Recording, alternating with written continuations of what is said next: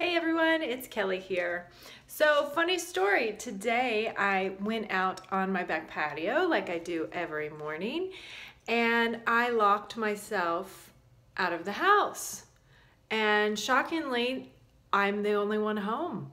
Uh, none of my four children were here to rescue me. All the doors were locked and there was no way in. So how did I manage to get in? Well, I was able to get into the garage and found a mallet, uh, any large object tool would work, and I had to bang the doorknob off of the door that leads from the garage to the house. So basically, I just whacked it as hard as I could until it fell apart.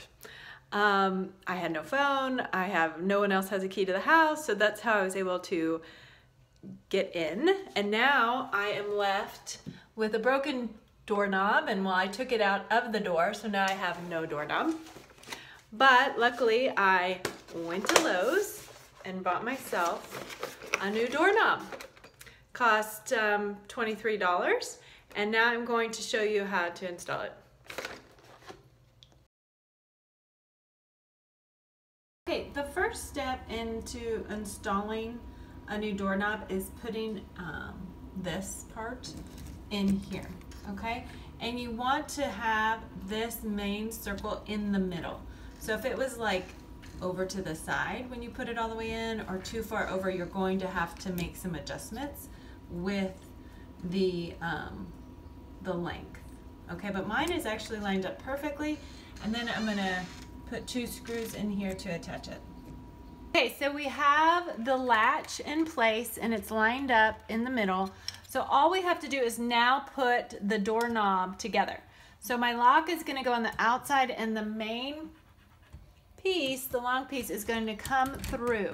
Now this only assembles one way, so you really, you know, can't mess it up too much. And then on this one, you're also gonna just fit it in there.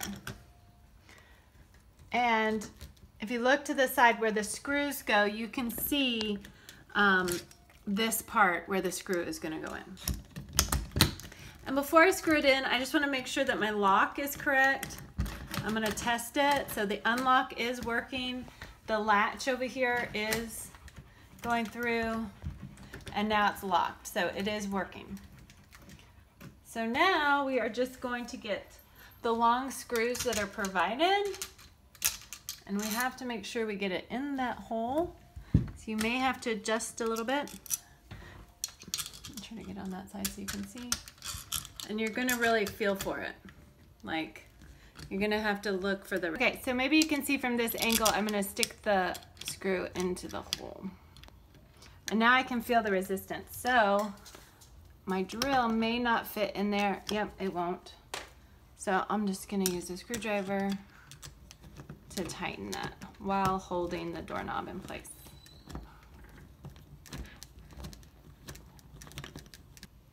Okay, so now I'm just tightening down the other side. The last step in installing your doorknob is um, replacing the plate that is provided, but mine is actually fine and you may have to adjust if need be, if it was loose, but um, mine is fine, so I'm just gonna leave it the way it is. Thank you.